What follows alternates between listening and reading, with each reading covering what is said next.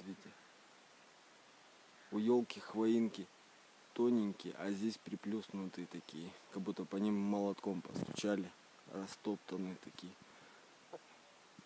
Вот тис. Красавчик.